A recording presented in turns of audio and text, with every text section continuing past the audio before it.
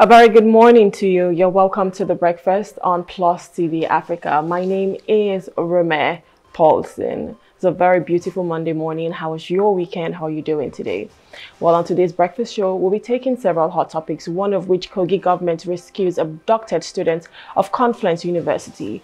Another is Wike acknowledges error in supporting Fubara amid Rivers State crisis. We'll also be taking stories making headlines in our national dailies as well as some top trending stories. But first, let's check out our quote of the day.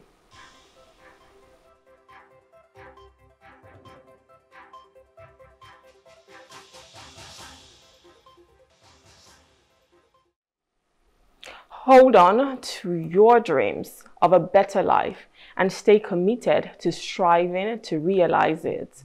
And that is by L.G. Graves Sr. He was an American entrepreneur, publisher, businessman, philanthropist, and advocate of African American businesses. And he says this morning, hold on to your dreams of a better life and stay committed to striving to realize it. So, what does that tell you this morning? Whatever dreams you have, whatever aspirations, whatever lofty ideas that you have this morning, make sure that you hold on to it the dream of a better life. Yes, you can have that better life. You deserve it. If you do not, do not deserve it, I don't know who else does. Everyone deserves a better life, and so do you. So make sure that you're holding onto that dream of a better life and do not stop striving to realize it obviously even if you have you know the best of dreams if you do not strive to realize it it just never would come. So it's better for you to start putting in the work, anything that would help you to get to that place, um, to that better life. You have to start putting in the work. If you know that you need to move from point A to point B, and this is what you need to be able as a vehicle to move you there, then you have to ensure that you enter into that vehicle. So be it maybe um, going back to school to study, be it making sure that you're writing those equations, be it journaling, be it, you know, just sitting down in a conference where people are pouring into you, be it getting an advice from a friend, um, be it collaborating with other people to ensure that that idea comes to fruition, and then you have to keep striving for it. So hold on to that dream, the dream of a big, beautiful life, and make sure that you're striving to realize it, to achieve it. And you just never know what the future has in store for you. You would realize that wow, I'm glad that I, you know, worked for it. And I remember those days when I was in the corner of my room um, writing down those little ideas. But look at me now. Um, I'm better now. I have a, be a better life. I have a big, beautiful life. And I've been able to achieve all that I set for myself. So what LG Grace is saying this morning is hold on to that um, better life, the dreams of the better life, and make sure that you're striving to realize it. And you will just have it. All right, that's it for our quote of the day. We'll move over to some top trending stories this morning. Um, our first top trending story, well, this talks about JTF uncovers 50 illegal refining sites in Bayelsa Forest. The Joint Military Task Force, JTF, in the Niger Delta Codename Operation Delta Safe OPDS says it has uncovered over 50 illegal refining sites in the Biseni forest of Yenagoa local government area of Bayelsa State. The commander OPDS, um, Rear Admiral John Okeke, who led the operation on Sunday, May 12, said that illegal refining of stolen crude oil was taking place in each of the sites uncovered. He said that a large dugout open pit that could accommodate more than 10 trucks of automotive gas oil AGO, popularly known as diesel, was being used to hold crude oil from the distribution point to their cooking sites. I recall that earlier, um, he had earlier warned oil thieves in the area to desist from illegal business or relocate to another area. He equally recalled that on May 9, 2024, the troops were at Ukwa West, local government in Abia State, bordering River State and Imo River, and he had a similar warning for criminals to stop the illegalities. Okeke said in quote, today, like I said, we are not going to relent and it is a work in progress. We will not get tired. We will continue to give criminals hell. We are now in Biseni in Yenagoa local government area of Bayelsa State. We traversed from Ahoada West local government area of River State to reach this point. The most surprising thing is that this place we are now in is housing over 50 cooking sites with unique arrangements. It is where the thieves operating in this area have decided to be so smart by connecting what is called theft line made of two inches pipe, a galvanized pipe connecting directly to supply oil on the road from a distance of one kilometer.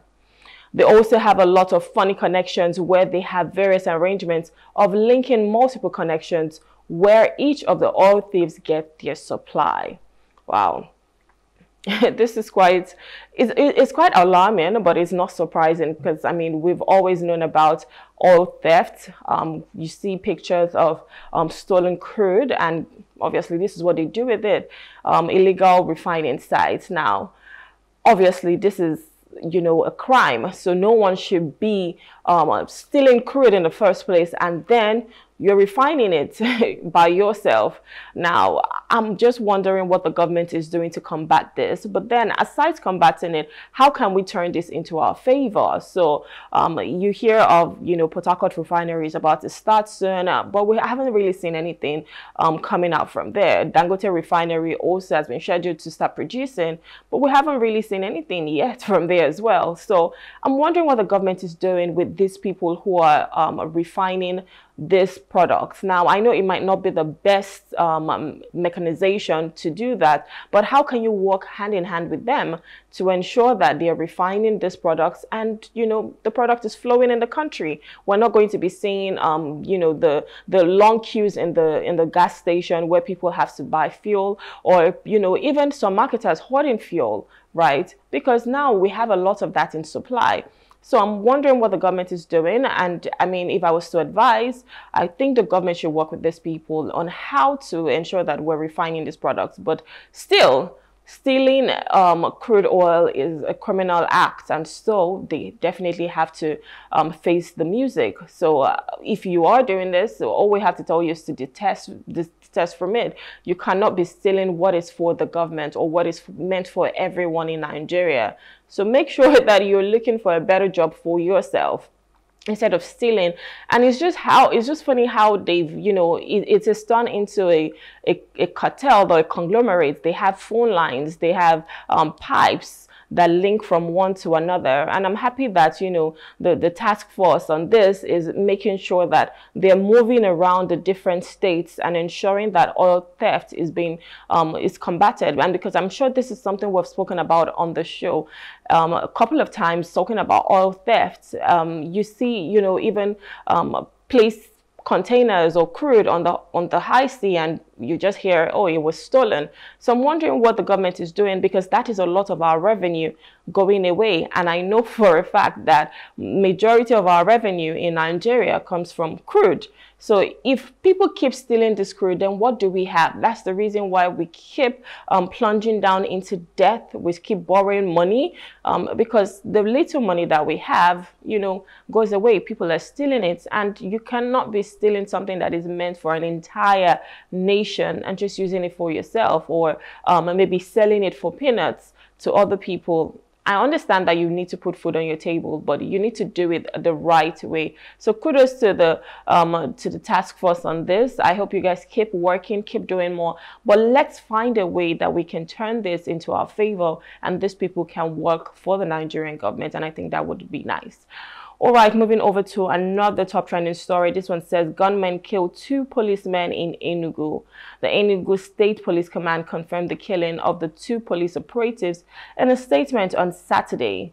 Armed hoodlums suspected to be members of the proscribed indigenous people of Biafra, IPOB, and its military wing, the Eastern Security Network, ESN, have gone down two policemen in Enugu State.